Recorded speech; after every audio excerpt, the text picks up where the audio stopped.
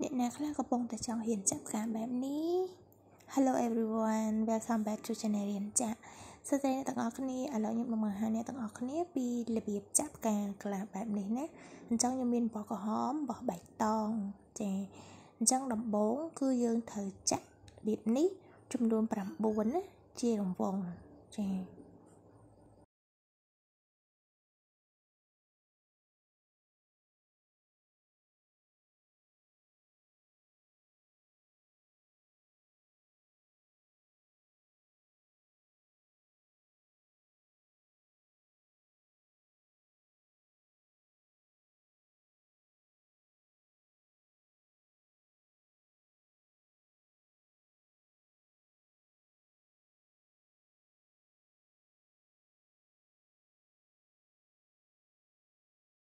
នៅពេលដែលយើងចាក់បាន9ហែគឺយើងត្រូវប្រើម្ជុលខ្ទាស់ឬក៏ប្រដាប់ខ្ទាស់អីមួយដើម្បីចំណាំថាវាជាចំណុចចាប់ផ្ដើមនៃអំបោះរបស់យើង ដើម្បីនៅពេលដែលយើងចាប់ផ្ដើមឡើងអំបោះណាចា៎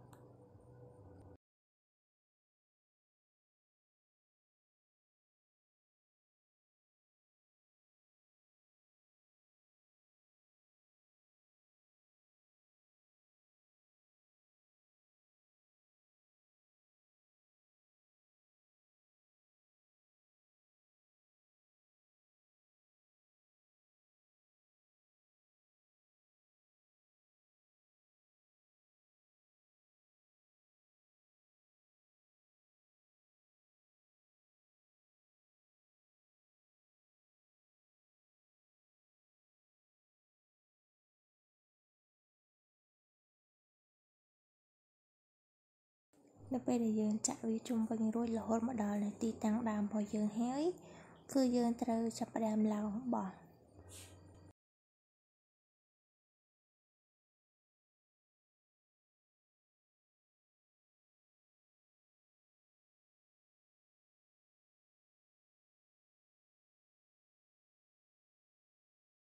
បន្ទាប់ពីយើងចាក់អំបោះរួចគឺយើងអត់មានត្រូវការគូសទេគឺយើងត្រូវចាក់តែពីអំបោះទេ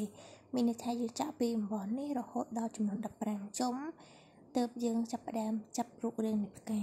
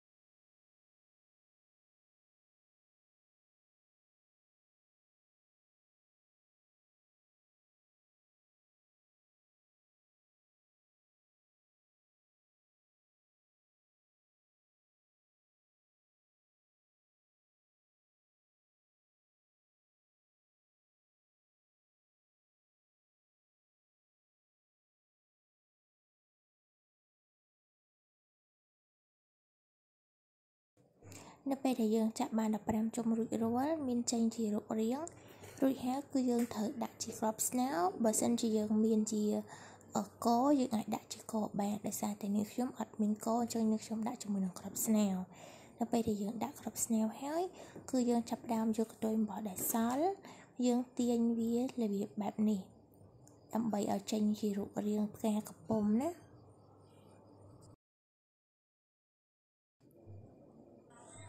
នៅពេលដែលយើងធ្វើជារូបរាងផ្ការួចរាល់ឥឡូវនេះយើងចូលទៅដល់វគ្គបន្ទាប់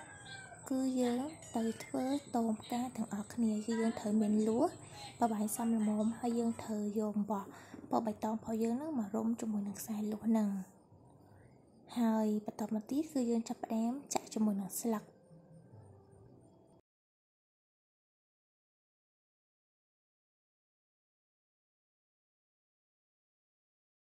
ចំពោះស្លឹក គឺនេះខ្ញុំប្រើអំបោះពណ៌បៃតងរាងស្រស់នាងខ្ញុំប្រើម្ជុលដដែល ហើយនាងខ្ញុំចាក់ឡើងវាចំនួន28 28នេះគឺយើងចាក់របៀបជាកន្ទុយកណ្ដុរណាបងប្អូនទាំងអស់គ្នា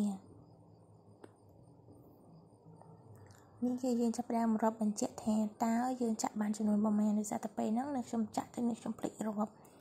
អានេះគឺនេះខ្ញុំចាក់បានវា27ឥឡូវខ្ញុំថែមវាមួយទៀតដើម្បីគ្រប់28ដងណា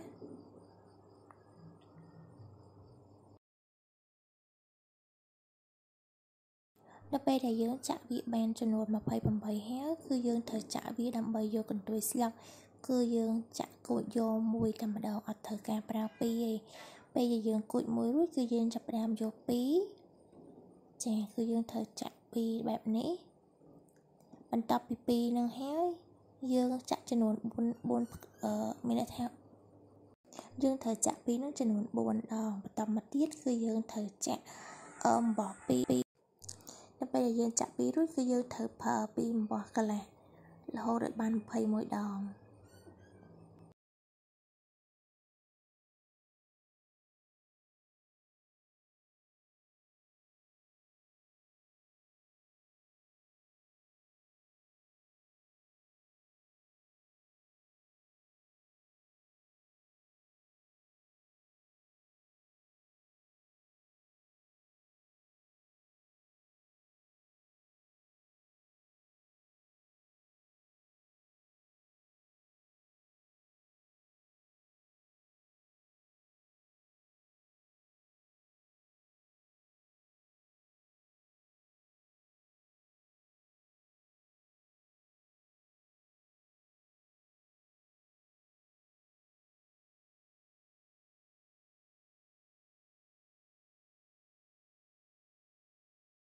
នៅពេលដែលយើងចាក់បាន21ដងរួចរាល់គឺយើងចាប់ផ្ដើមប្រើអំបោះតែ2ទេ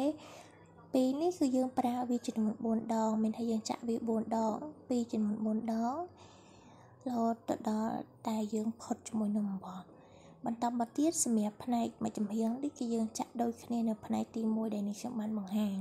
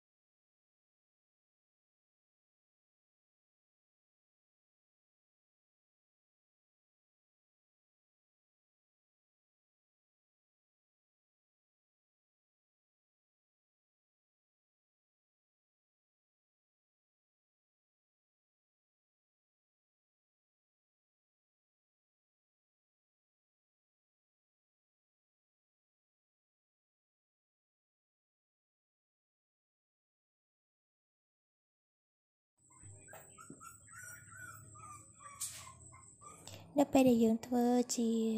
រូបរាងស្លឹករួចរាល់យើងត្រូវយកវាកាត់ជាមួយនឹងកន្ទុយអំបោះចេញហើយយើងយកកន្ទុយអំបោះដែលសល់យកមកចងចប់ជាមួយនឹងលួសដែលយើងបានរុំជាមួយបោះពណ៌បៃតងធ្វើរបៀបបែបនេះណា